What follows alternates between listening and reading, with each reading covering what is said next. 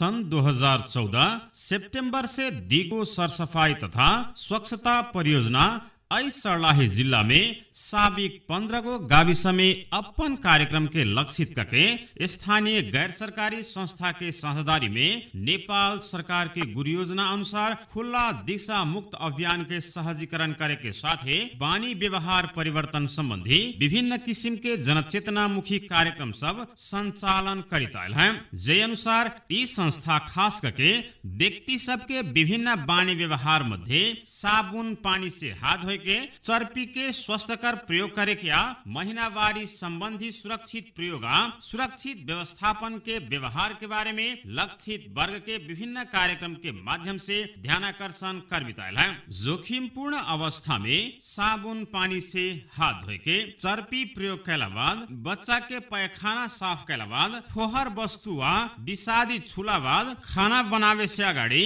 खाए से पहले या खियावे से पहले साबुन पानी से हाथ धोए के कैला की हाथ सफ़ा दिखाई देला बादो हाथ फोहर रहिया। तेही से साबुन पानी से हाथ मिच मिच के धोए के बानी बसाओ साबुन पानी से हाथ धोएला में पेट झरिया, रुघा खोकी, निमोनिया आ बुखार जैसन बहुतो रोग लागे से बचल जा सकैया।